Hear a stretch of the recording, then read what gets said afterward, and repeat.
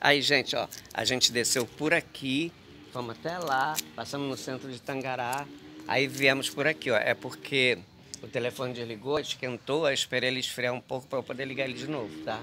Aí nós viemos por aqui, ó, aqui é o que? A entrada do nosso condomínio, né, Alessandro? Como mostrei para vocês, tem vários condomínios, são...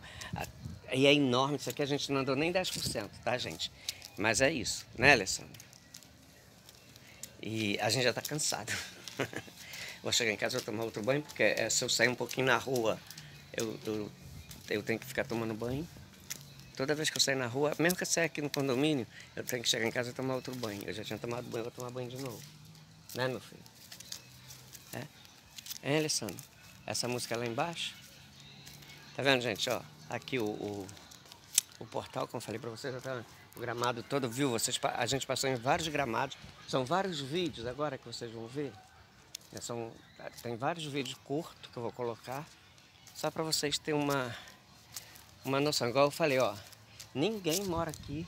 Até ali embaixo, naquela casa ali, tem uma pessoa morando. Aqui nessa rua tem mais pessoas que estão morando. Aqui embaixo. Ah, direto aqui, acho que só tem o quê? Três pessoas, né, Alessandro?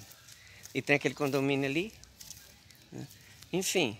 Ah, é muito tranquilo aqui, gente. É muito tranquilo. Vocês podem ver, ó. Quer ir no gramado ali, Alessandro? Hum? Não. Hum? Quer ir? Vamos ali no gramado para a gente ver as luzes lá embaixo? Hã? Vamos? Eu vou gravar um outro vídeo ali. Bom. Pera aí, aqui, ó. Deixa eu ver aqui. arame que eu joguei ali. Cadê? Ah, tu vai pegar arame lá, Alessandro? Cadê? Cadê Alessandro? Ah, ele vai pegar. Ele botou um araminho pequenininho ali na, na entrada do condomínio. Pera aí.